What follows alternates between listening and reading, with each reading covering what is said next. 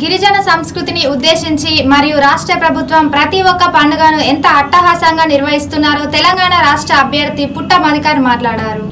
ఈ కార్యక్రమంలో పుట్ట దంపతులు చిందులు వేశారు. అలాగే జెడ్పీటీసీలు రాజిరెడ్డి గారు నారాయణ రెడ్డి గారు మండల అధ్యక్షులు మండల యూత్ అధ్యక్షులు మాజీ సర్పంచ్లు ఎంపీటీసీలు గ్రామ శాఖ అధ్యక్షులు తెలంగాణ రాష్ట్ర సమితి నాయకులు గిరిజన ప్రజలు మరియు తదితరులు పాల్గొన్నారు. తెలంగాణ రాష్ట్రంలో మన కేసీఆర్ గారు ముందుగానే ప్రకృతిని పూజిస్తే మనం సుభిక్షంగా ఉంటామని పెద్ద ఎత్తున హరితారణ్య కార్యక్రమాన్ని తీసుకోవడం మనమందరం కూడా చూసినాం.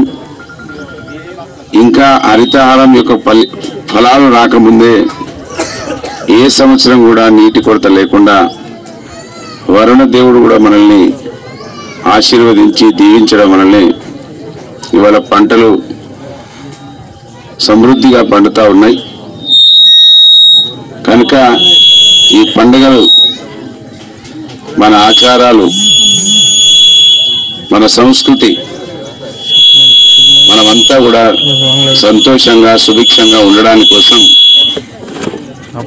ఇవన్నీ కూడా ఉపయోగపడతా ఉన్నాయని దీని ద్వారా మనకు అర్థమవుతా ఉన్నది కనుక తెలంగాణ రాష్ట్రం వచ్చిన తర్వాత ఇంకా పండగలు గొప్పగా ఇవాళ తెలంగాణ రాష్ట్ర ప్రభుత్వమే సేవాలాల్ మహారాజీ జయంతిని ప్రభుత్వ పరంగా జరుపుకోవడము తీజ్ ఉత్సవాన్ని కూడా ప్రభుత్వ పరంగానే జరుపుకోవడానికోసం మన ఆలోచనలు కొనసాగుతూ ఉన్నాయి.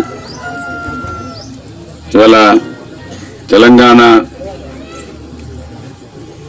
సాంప్రదాయాలు ఆచారాలను గౌరవించడం వలనే మనం కష్టపడి సాధించుకున్న తెలంగాణ మన కేసీఆర్ గారి నాయకత్వంలో భారతదేశం అంతా కూడా తెలంగాణ వైపు చూసేటట్లుగా ఇరవై తొమ్మిదవ రాష్ట్రమైనా కూడా దేశంలోనే నెంబర్ వన్ స్థానాల్లోకి అనేక అంశాలలో ఇప్పటికే ముందుకు నడుస్తూ ఉన్నది.